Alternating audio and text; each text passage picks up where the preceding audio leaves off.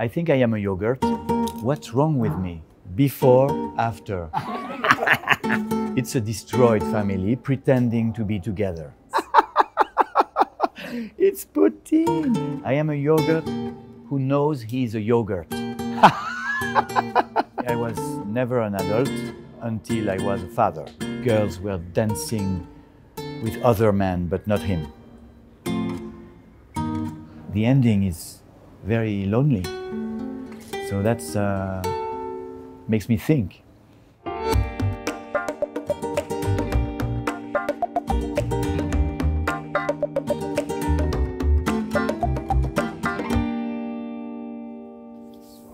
Ah, this is uh, when I was uh, good looking, 13 years old. And uh, you see, I am on television with you. I was already on TV when I was a little boy. So do you think this is sad? No? Before, after. Oh, sad.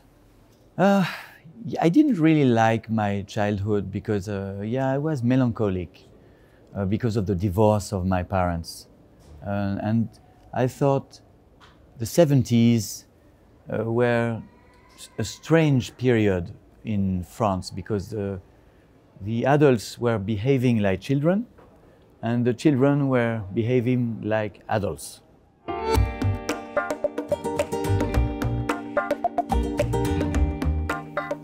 Ah, my parents, my family. So this is papa, maman, my brother, and me. You see, my father is um, big, big businessman. Yes. And I think it's very, it's a beautiful picture. I don't have a lot of pictures of uh, us together, if, especially my parents, because they don't see each other since 1972. so, uh, very exceptional moments when they are together on a picture. You know, family, you don't choose them, but you love them anyway, as they are. So, it's a destroyed family pretending to be together. That's the funny part. This family, this is fake news. Totally fake news. They are not together. Except my brother and me, who are always together, but they got divorced uh, 50 years ago. So, fake news.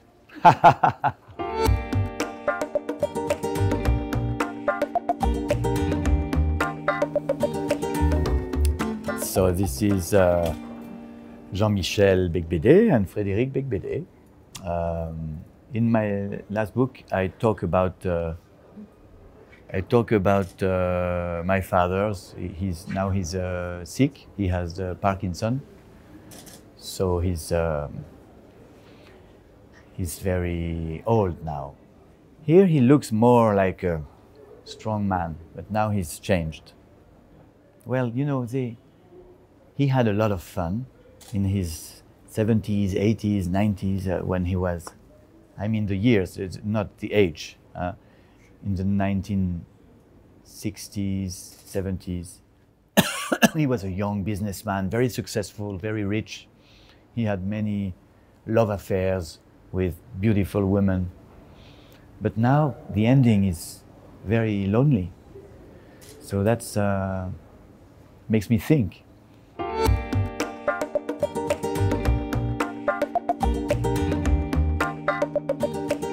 Oh no, don't ask me to choose between my two masters. oh, it's tough. They are both smoking. Um, so Salinger and Bukowski, they have one thing in common. They pretend to be tough, but they are really romantic, very, very tender people, very human people. He suffered from Second World War, horrible uh, war. He saw some really very, very terrible things. And he also had a nightmare childhood. He was beaten by his uh, stepfather So they both have a lot of pain. You can see in their eyes. There's a lot of pain.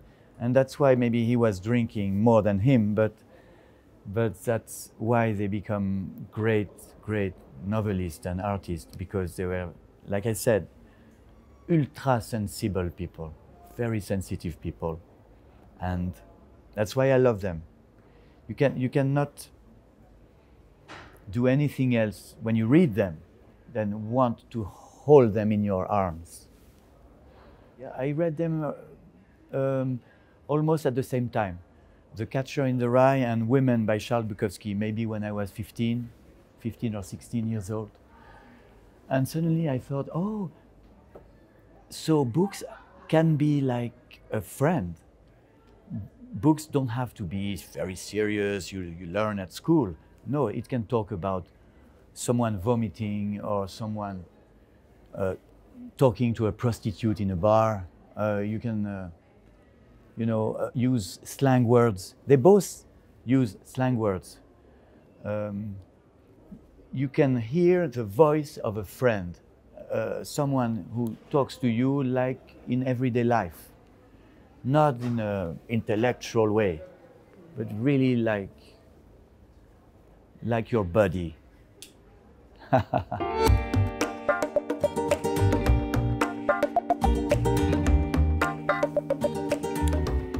so this is Charles. Charles is my uh, older brother, my only brother, and uh, I always admired him.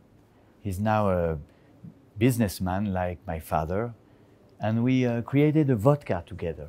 Uh, we are very much different um, and maybe that's why we respect and uh, love each other. When we were young, we were fighting all the time. And one day it stopped.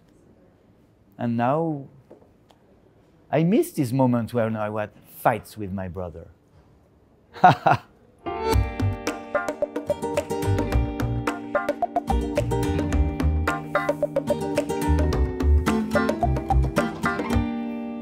Okay, I guess this is the door of a club in Paris called Castel. Ah, okay, I recognized. Um, when I was 13 years old, the, um, how can I say, the, the new boyfriend of my mother, after my father, he uh, took us with my brother to this place. And I was 13 years old, so I was very much too young to be in a, a nightclub all the, I saw old men, very funny. They were completely drunk, of course. I saw beautiful women with night dresses, perfume, the hair, extraordinary makeup. And I, I thought, this is like an amusement park for adults. That's what adults do. I like to go to uh, Disneyland, but this is Disneyland for grown-ups. I don't like to party if, if, if there is not a story after. Good party is when you, you call your friends the next morning and you say, did you notice what happened? That's a good party. So good parties are like fiction. They create stories or novels. And many of the best novels ever written have big chapters of party inside. Anna Karenine, uh, you know, uh, Madame Bovary. There's always a party in the middle where everything happens. It's like the rest of the life is boring. We, we go to the office, we work, we have lunch, but the important things, the place where we will have discussions, uh, we will we'll, we'll fall in love. Happens in parties.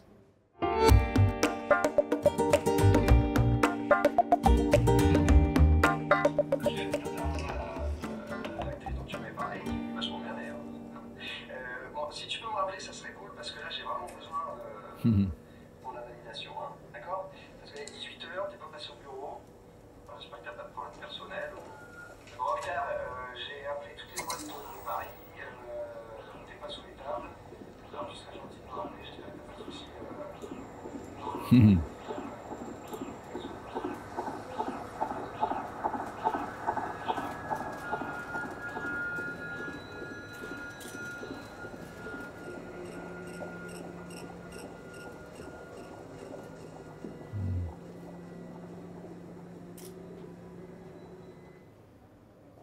Yeah, you know this really happened to me. It's not in. It, I didn't made it, made this up. but I was lucky because I got to see my daughter Chloe uh, many many times. So finally, finally, I raised her. So, but I, I, I got divorced from the mother like my parents did. I repeat the same pattern. I love Jean Dujardin in this in this part, and uh, we became friends. And of course, this is the work of Jan Kounen, great film director.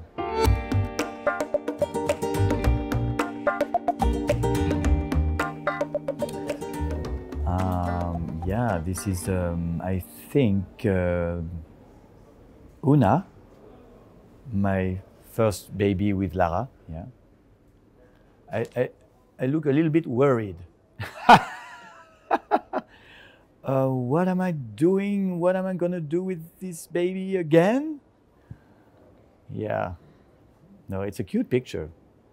I like the fact that daddy is in black and the baby is in white. we didn't do it on purpose, but I see the message. The message is this man is finished. Now this is the future. This is the hope.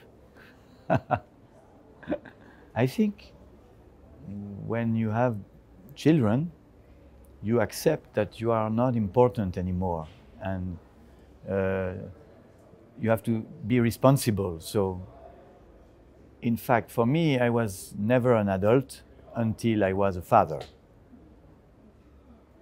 And suddenly, you you cannot afford to be irresponsible anymore. You have to take care of someone else. You stop looking at yourself in the mirror and change the diapers and shut up.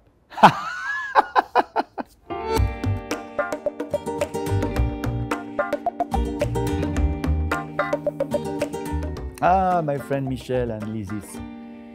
So this is also a picture by Lara. Uh, on the wedding day of uh, Houellebecq in Paris. It's a funny place because it looks like it's in the jungle, but it's just near the mairie of the 12th arrondissements in Paris. And it's, it was a small but very beautiful wedding. Uh, very few people, but uh, Michel was crying during all the ceremony. And so it was very moving. We were introduced in a meeting of a literary review. I guess it was in uh, 1991 uh, or 92 uh, during the, um, after the publication of his first novel, Extension du domaine de la lutte. And uh, with Michel, we connected immediately we talked about music. We love to talk about our favorite uh, records, uh, punk bands, uh, you know. So he he was talking about um, "Nights in White Satin" by the Moody Blues, his favorite slow song. He says every time he listens to this song, he is crying because he thinks of all the afternoon parties where the girls were dancing with other men, but not him. And in, in, in fact, slow songs are uh, the most beautiful ones. If you listen to Nights in White Satin, it's difficult to resist, and you know you want to melt down, and tears start uh, rolling, and you, you, it's, it's very embarrassing. Some songs are like this. Which one makes me cry? Goodbye Yellow Brick Road by Elton John makes me cry every time.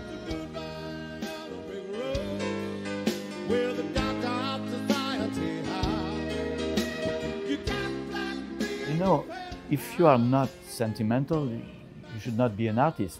Artist, the job of the artist is to be ultra sensitive.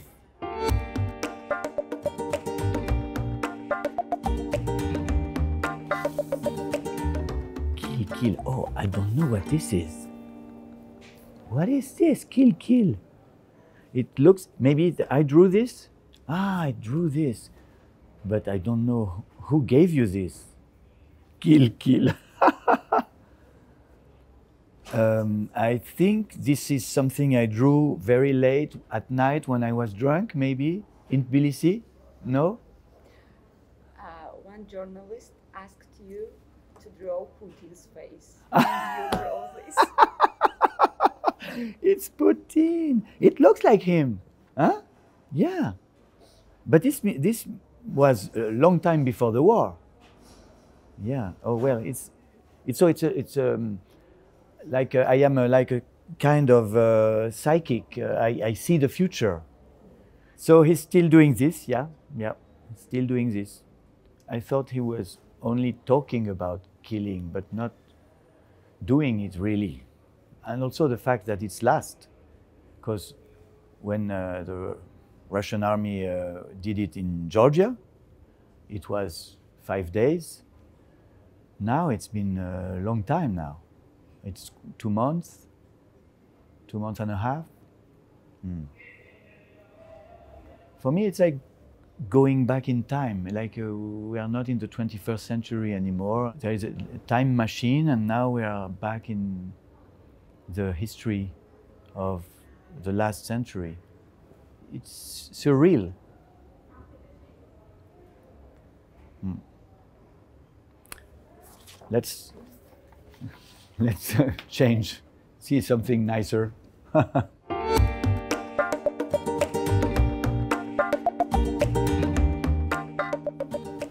is this? What do you want me to say about this? I, I guess maybe I said something about yogurts a long time ago in 99 francs. I said maybe that everybody is a product. Yeah, that's what you want me. Yeah, I thought why we artists, we always think we are cooler than um, others, but we are still products. I, I am selling my books like the people who made this yogurt, they are selling the yogurt. We are all part of this marketing system. So I, um, I think I am a yogurt, but I am a thinking yogurt. I am a yogurt who knows he's a yogurt. So maybe that makes me more clever than a normal yogurt. And also, this yogurt is not talking. Are you talking about your yogurt condition? Yogurt? no, so you see, maybe man is a thinking yogurt.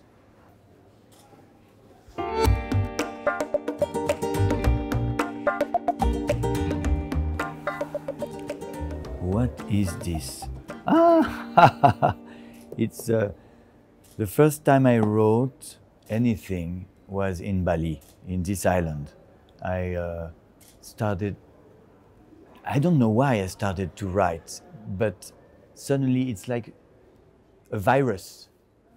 I started to take notes and write every day about what I was doing with my brother and my father. It was a trip to Indonesia, and it, I never got cured from this virus. I started writing, I was maybe nine years old, and I still do this every day. It's like a, it's a big problem in my life because when you write, when you write, you don't really live. You have another life in your head. It's a form of madness. This, this. My brother in Indonesia, he was going in uh, the sea, surfing, and I was staying in the room writing. What's wrong with me? In my classroom, there was um, uh, one of my best friends. He, he was drawing. He had this talent of drawing a horse, a, a plane. He could draw, draw very, very good. And uh, he didn't practice, just came from nowhere. And for me, it was writing, telling stories. I, I was writing stories, I gave them to my friends. And I still don't understand why I started to do this. But now it's my life.